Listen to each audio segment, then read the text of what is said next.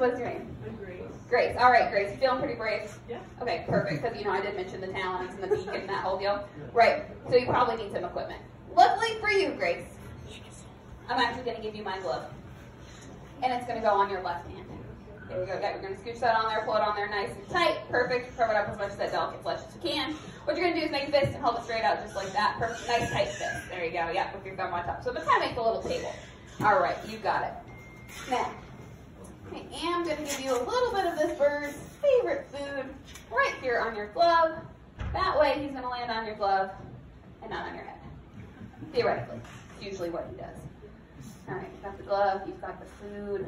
Oh, but you know what? I just remembered that is my glove, so I don't have one. So to be totally honest with you, I'm not feeling terribly brave standing out here without one. So you just hang right there, hold that nice and sturdy. I'm actually going to back way over here behind this tree where I feel a little safer. Yep, all right, you should be good. Just keep that glove up because we are about to meet my very fast friend, Phoenix. Hold on. Make sure everybody is in their seats because like the Jays, this bird will be zipping right over your head. All right, I know, pausing for dramatic effect. I hope you're ready now because here he comes.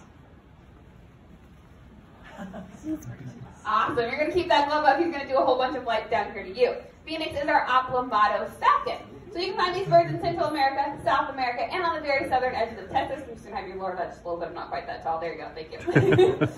now, a bird like Phoenix likes to hunt what we call fast food. I'm, of course, not talking about McDonald's. So we usually like to ask, you think he's pretty cute? Yeah. Yeah, he's pretty cute. But we like to say you wouldn't think he was too cute if you were a pigeon.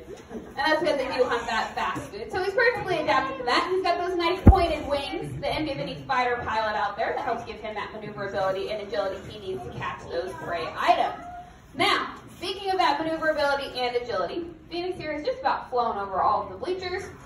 And I have noticed just a few of you ducking, which is perfectly fine. Go ahead. But just know that Phoenix knows that if you do duck, he can fly that much lower. I'm just going to keep that nice and sturdy just like that. There you go.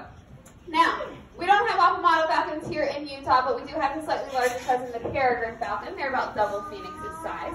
Now, when they hunt, they are the fastest animals on the planet.